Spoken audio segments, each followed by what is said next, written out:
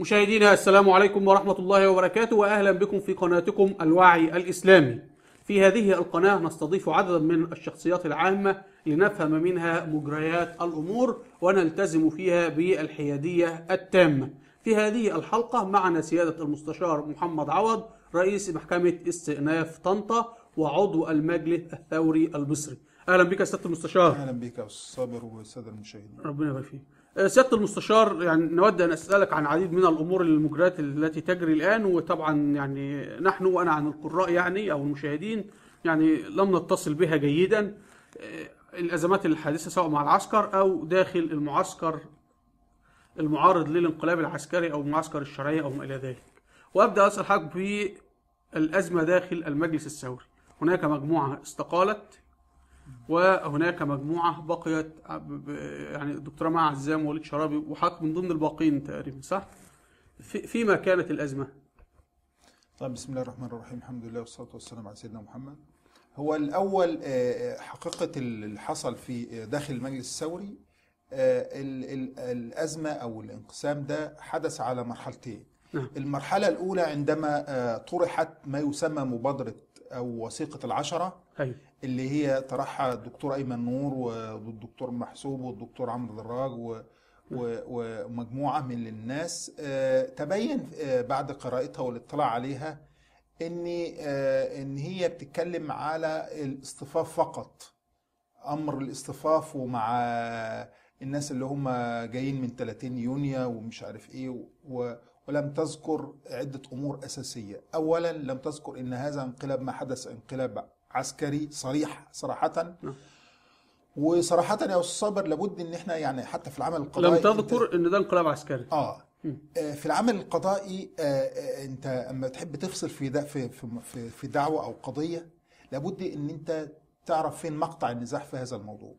فإحنا عندنا إشكالية كبرى آه، اللي هي أزمة مصر دلوقتي بسبب الانقلاب العسكري. فإزاي أنت كمثلا راجل طبيب وأزمة المريض في وجود مرض سرطاني فأنت كطبيب ما بتقوليش إن ده مرض سرطان.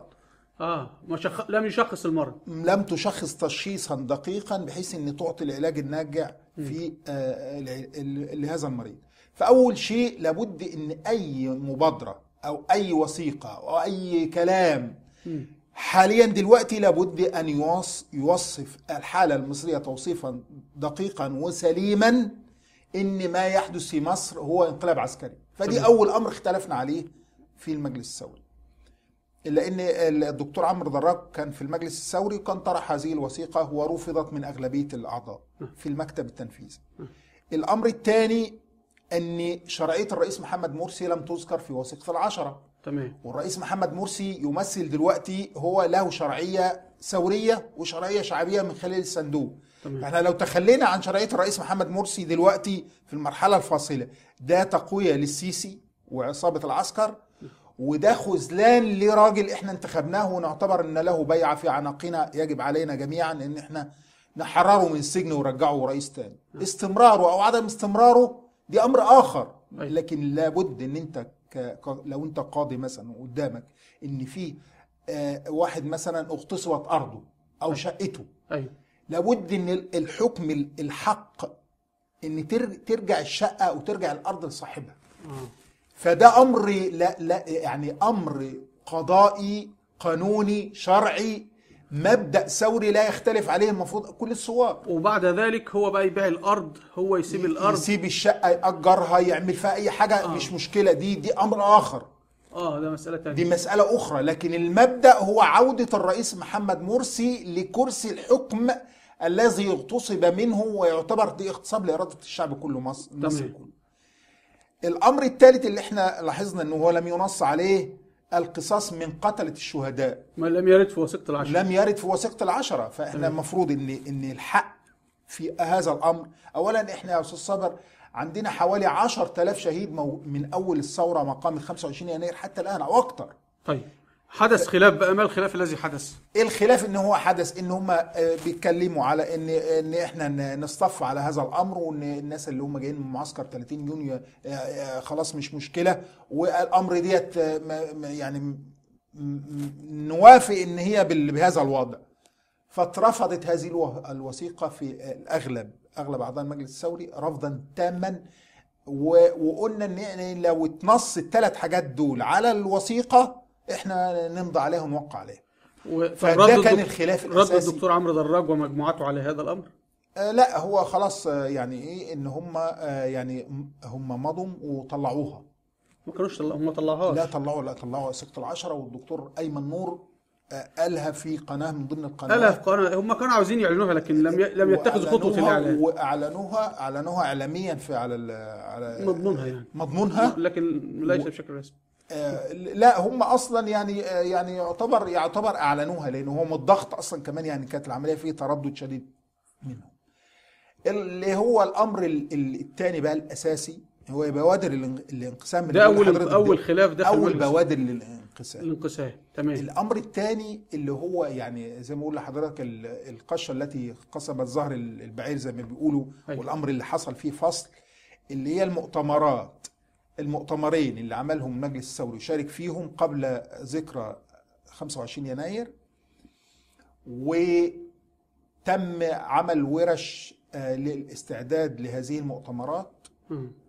وتم تبني رفع شعار المقاومة الشعبية حق الشعب المصري في المقاومة الشعبية وهذين المؤتمرين لم يحضرهما أي من المجموعة المتحالفة مع ايمن نور. لا خالص. طيب آه، سيادة المستشار يعني آه، مشاهدينا الآن نذهب لفيديو لهذين المؤتمرين وفيه تطالب الدكتورة مع عزام أو المجلس الثوري يطالب بحق المقاومة الشعبية للشعب وكما رأينا هو لم يحضر في هذين المؤتمرين قبل ثورة 25 بل قبل هذه الذكرى ال- التي مرت ال 25 يناير لم يحضر أي من المجموعة الخاصة المستقيله الأخيرة.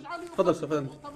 فأنا بقول لحضرتك إيه اللي حصل بقى في موضوع المقاومة الشعبية؟ أمر أمر تبني خط- خطاب وشعار رفع شعار المقاومة الشعبية اتدرس كتير وإحنا اتكلمنا فيه كتير باستفاضة. نعم.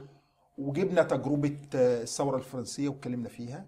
وقلنا إن إن إن جميع الثورات بلا استثناء لم تحسم إلا بالقوة أيوه مفيش حاجة اسمها ثورة سلمية مفيش يعني في تناقض كده أيوة. ليه لأن المفروض الظالم والظلم والطغيان سواء آه، أو سواء طغيان ده عن طريق عن طريق احتلال أجنبي من الخارج أو عن طريق اللي هم الظلمة والظلم والطغيان اللي هو بيمارسه الحاكم أيوة. على الشعب بتاعه. تمام. فده ظلم وطغيان وده ظلم وطغيان برضه. تمام.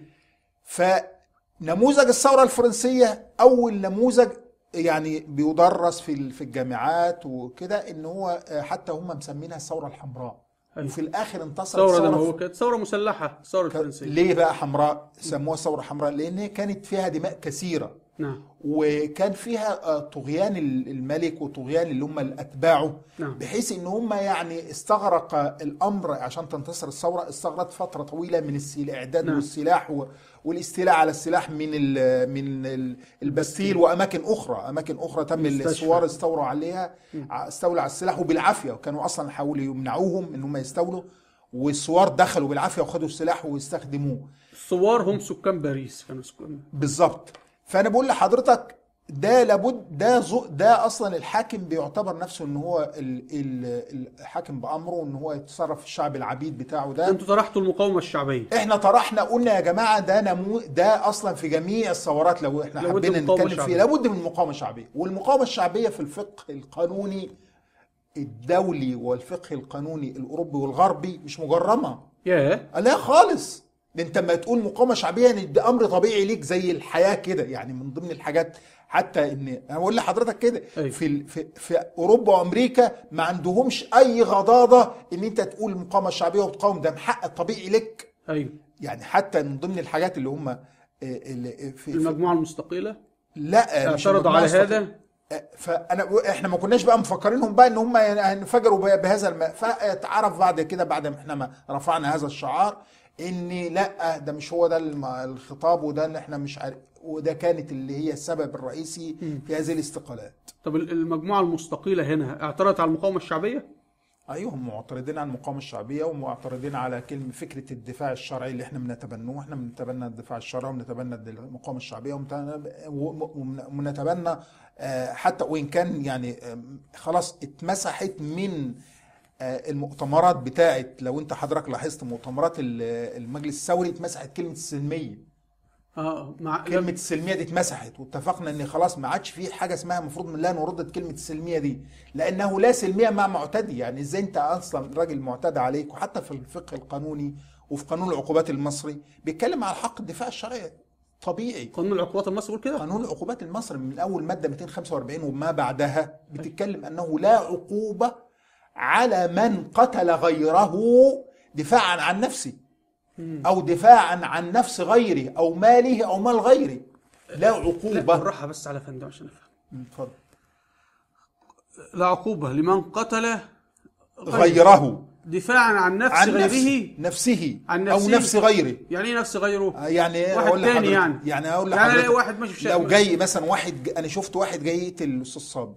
فأنا أوتوماتيك المفروض أقتل اللي هو جاي يقتلك يبقى ده اسمه دفاع عن نفس غيره آه نفس غيرك يعني أنت كده بتدافع عن الأستاذ صابر لا عقوبة عليك لا ج... لا جريمة طيب. ولا عقوبة. براءة ما فيش أصلا أنتوا. لماذا لم تجتمعوا مع المجموعة المستقيلة وتتفاوضوا في الأمر سواء فيما يخص الشرعية الخاصه بالرئيس مرسي أو وثيقة العشرة وفيما يخص بالمقاومة الشعبية وتاخذوا التصويت بالأغلبية؟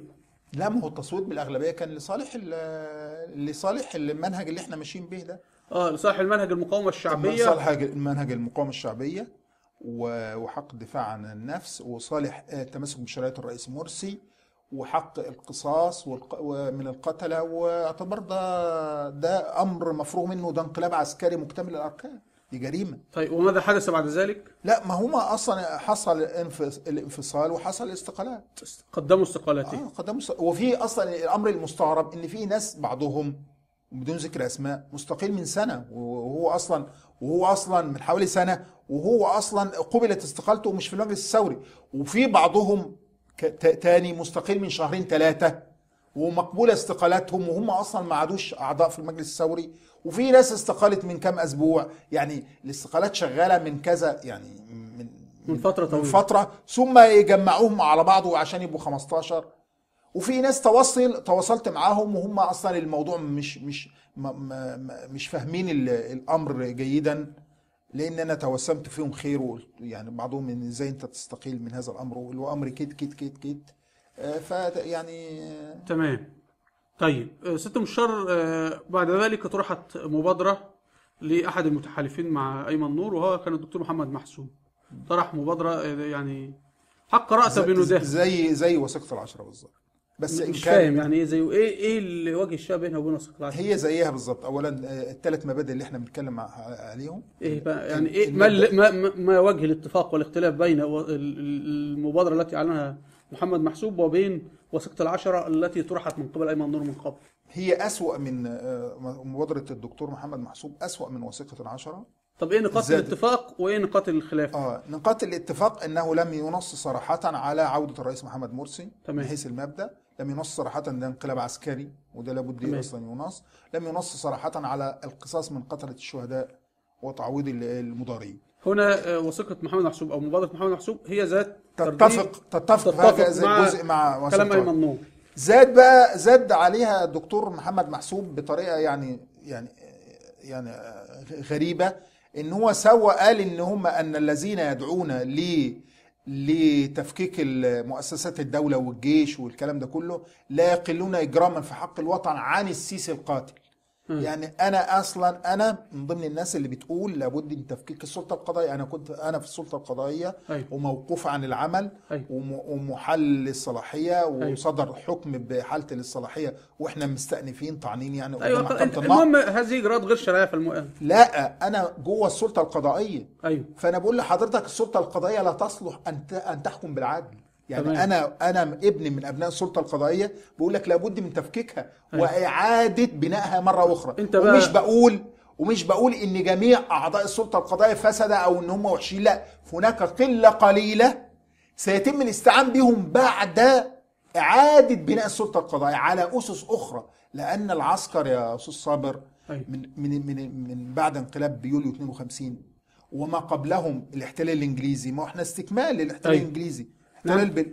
اللي بيحصل دلوقتي استكمال للاحتلال الإنجليزي إزاي أنا بقول لحضرتك ال- ال- البناء اللي آه، بناه الاحتلال الإنجليزي لمصر لمؤسسات مصر مم. استمر هذا البناء بنفس الوضع ونفس الأسس ونفس المعايير إلى يومنا هذا ثم زاد عليه الطين بله من انقلاب السيسي اللي عمله. فإحنا بنتكلم دلوقتي إحنا تعتبر مصر على هذا الأساس محتلة بالوكالة احتلال صريح يعني مش مش فأنا بقول لحضرتك السلطة القضائية مثلا اللي أنا فيها أنا بقول أول بعد عودة الرئيس محمد مرسي وتنتصر الثورة لابد من تفكيك السلطة القضائية. يبقى أنا كده زي إيه؟ يعني أنا بنادي كده. أيوه. محمد محسوب بقى ومن معه أيوة. بيعتبروني أن أنا أشد خطرا على مصر زي السيسي. بالوضع اللي أنا بقوله ده يعني أنا مع أنت تفكيك أنا مع تفكيك السلطة القضائية تفكيك الجيش تفكيك الشرطة تفكيك الأزهر تفكيك المؤسسات كلها وإعادة بنائها. الصالح الصالح القلة الصالحة اللي هي موجودة اللي لم تشارك في دم ورفضت وانضمت للثورة إن شاء الله بعد كده يعني تنضم وتثبت إن هي ولها للثورة. نستعين بها بعد ذلك في بناء هذه المؤسسات. لأنها مؤسسات أصلا مبنية على يد الاحتلال الإنجليزي. دي انت. حضرتك تعتبرها امتداد للاحتلال الإنجليزي. آه، بالتأكيد. كل مؤسسات دلوقتي الدولة المصرية هي مؤسسات أنشئت على أعين الاحتلال الإنجليزي وعلى أعين المخابرات الأمريكية دلوقتي والصهيونية بعد كامب ديفيد. قولا واحدا. بالراحة على يا سياده يعني أنا وفقا لمبادرة محمد محسوب الآن أجلس مع حضرتك واجلس مع شخص أخطر من السيسي. وفقا للم... لمبادرة محمد محسوب بيعتبرني إن أنا خطر على مصر زي السيسي بالظبط. فده أصلا يعني الواحد يخاف منك ويوم يستخبى. أنت ممكن تقتلني كده. لا هو هو أصلا إحنا يعني هذا هذه سقطة كبرى المفروض الدكتور محمد محسوب يتراجع عنها ولا يؤيده أحد على الإطلاق أي ثوري في مصر لا يؤيد المفروض لا يؤيد الدكتور محمد محسوب ولا ينضم للجمعية اللي هو اللي هو عايز ينشئها اللي هي جمعية الإنقاذ. أنا أعتبرها جمعية إنقاذ السيسي من السقوط وإنقاذ الانقلاب العسكري من السقوط. لأن إنقاذ إيه؟ يعني هو عايز يعمل جمعية إنقاذ لمين؟ أنا بعتبرها إنقاذ لمعسكر الانقلاب من السقوط لأنه على وشك السقوط عايز بس يعني دفع كده ثوري قوي آه، ويسقطه إن شاء الله قريبا. فأنا بقول لحضرتك إن أي أي شخص وأنا بنبه أهو، أي شخص هينضم للدكتور محمد محسوب أنا هعتبره أعتبره على هذا الوضع يا إما مش فاهم والمفروض يفهم أبعاد الأمور ومآلات الأمور إيه أو يكون مت- متعاون مع مع معسكر السيسي وده شغل مخابرات. نعم. طيب سيادة المستشار كيف ترى الوضع في مصر؟ ويعني كيف ترى أداء العسكر في حكم مصر؟ العسكر بيحكم يا أستاذ صابر مش لوحده العسكر اللي معاه السلاح أيوة. اللي هو عسكر الجيش أيوه معاه الشرطة معاه القضاء معاه تمام. الإعلام معاه مؤسسه المؤسسات الدينية اللي هي أيوة. اللي بتاع الازهر معاه والكنيسه آه الأزهر والكنيسة معاه اللي هم رجال الأعمال اللي بيدعموه والمنتفعين بتوعه فدي اذرع الاذرع الايه ال- أيوة. الإنقلابيين. الأمر يعني آه، ضارب في آه، في آه، زي ما بيقولوا السرطان في في جسد. المريض المصري أيوة. منذ أنا بقول لحضرتك منذ الاحتلال الفرنسي. تمام. 200 سنة. 200 سنة وأكثر من 200 سنة. فالأمر عايز رؤية جديدة. إحنا طبعا قعدنا سنتين ونص دول نتكلم على السلمية وسلميتنا أقوى من الرصاص في غير أصلا محله. لماذا؟ لأن أصلا إحنا السنتين ونص دول حضرتك شايفهم ضايعين من عمر الثورة. ضايعين تماما. إحنا من ضيعناه ثلاث سنين ولا ثلاث سنين تقريبا. سنتين ونص. تمام. وشهر. فأنا بقول لحضرتك السنتين ونص إحنا ضيعناهم في أمور بديهية. يعني ربنا سبحانه وتعالى بيقول ولا تد ولا تهنوا وتدعوا إلى السلم وأنتم الأعلون. نعم بتقول إيه؟ ولا تهنوا. ربنا يقول ولا تهنوا. وتدعوا إلى السلم و- وأنتم الأعلون. فاذا القصة يعني وبعدين بيقول إيه؟ في ببساطة وإن جنحوا للسلم فاجنح له. هم جنحوا للسلم بالعكس بقى. ده أنا أقول لحضرتك واقعة. النبي صلى الله عليه وسلم رفض فيها إمداد إمداد صلح الحديبية. طب سيادة المستشار يعني إحنا هنستأذن حضرتك في الح... في حلقة مقبلة والحلقة التي بعدها ن- نخصص لها جزء في هذا الموضوع. ماشي. آه، نشكرك شكرا جزيلا سيادة المستشار. ونشكركم مشاهدينا على حسن المتابعة وانتظرونا في الحلقة المقبلة مع سيادة المستشار. نكمل فيها الحديث عما بدأه عما ضاع في عمر الثورة المصرية. فانتظرونا وإلى اللقاء والسلام عليكم ورحمة الله وبركاته.